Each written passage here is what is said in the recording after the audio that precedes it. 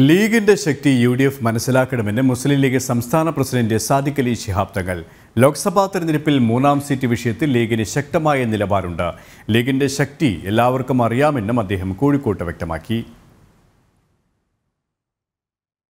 പതിനാറ് തീയതി ഞങ്ങളുടെ മീറ്റിംഗ് ഉണ്ട്.